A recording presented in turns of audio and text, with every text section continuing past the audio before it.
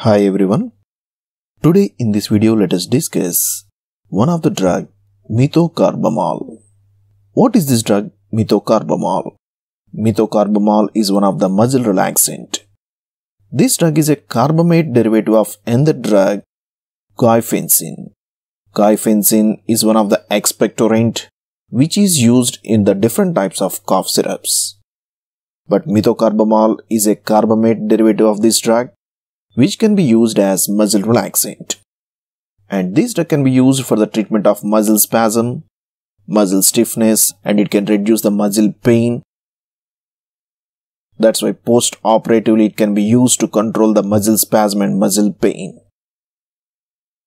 But interestingly, this drug is not directly acting on the muscle. Instead, it acts on the central nervous system.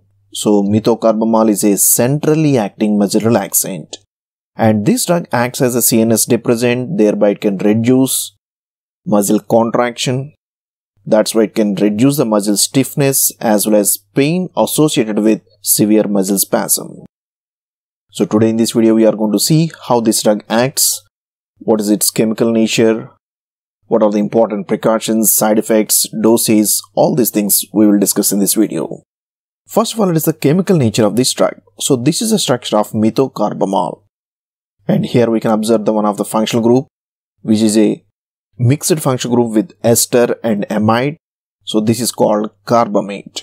And this carbamate is attached to an alkyl chain. Let us give the numbering. This is 1 2 3 so simply it is a propyl chain. So we can write this as propyl carbamate.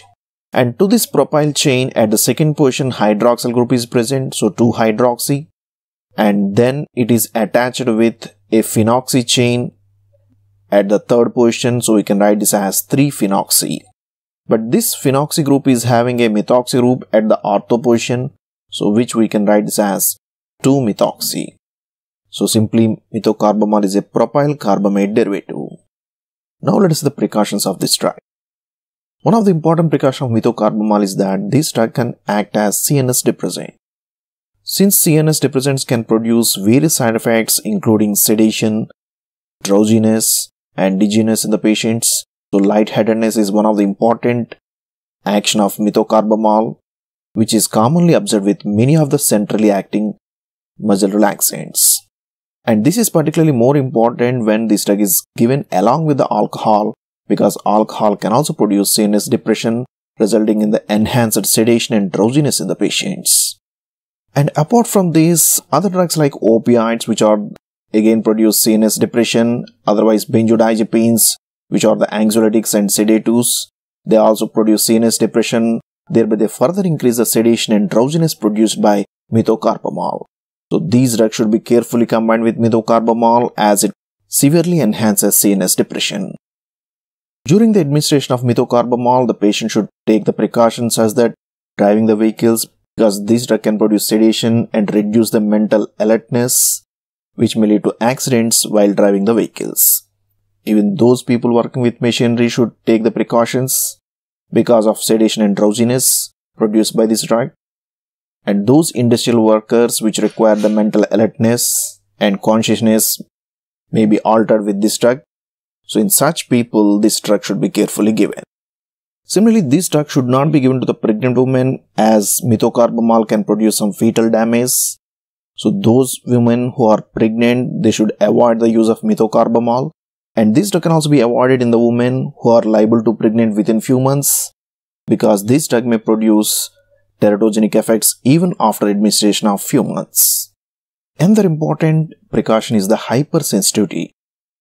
Methocarbamol can produce some hypersensitive reactions resulting in skin rashes, eczema, and dermatitis. And even it can produce some dyspnea, difficulty in breathing, peripheral edema. And particularly when it is given by IV route, it can produce thrombophlebitis resulting in swelling at the site of injection. That's why when this drug is given by IV or IM route, the rate of injection should be less than 3 ml per minute in order to reduce any hypersensitive reactions at the site of injection. Now let us see how this drug acts. Within the CNS, glutamate is one of the excitatory mediator and GABA is the inhibitory mediator.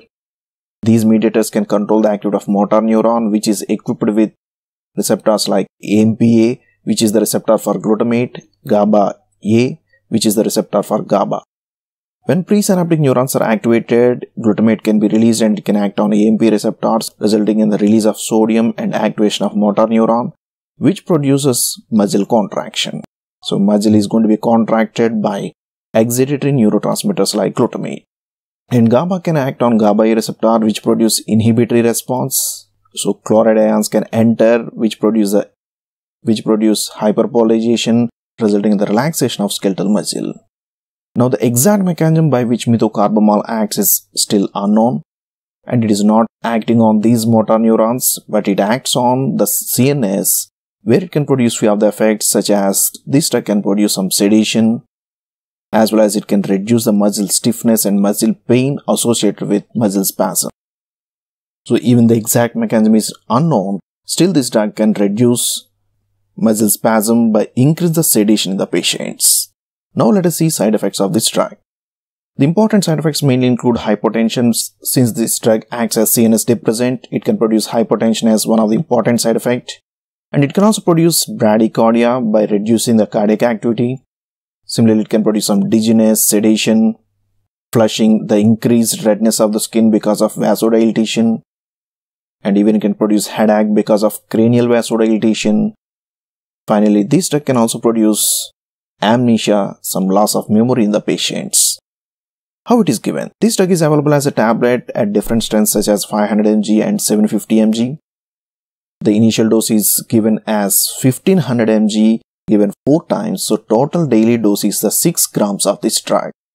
This 1500 mg dose each time can be given in different ways. It can be given as 500 mg 3 tablets given 4 times Otherwise, it can be given in the form of 750 mg tablets.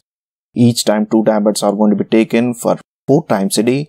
So the total dose of this drug is 6 grams. And the maintenance dose is around 1000 mg given 4 times daily. This is also available as injection which can be given either IV or IM.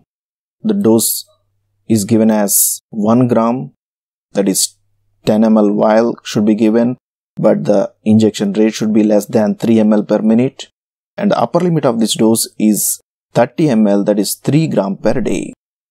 So that's all about this drug methocarbamol. Hope you have enjoyed this video.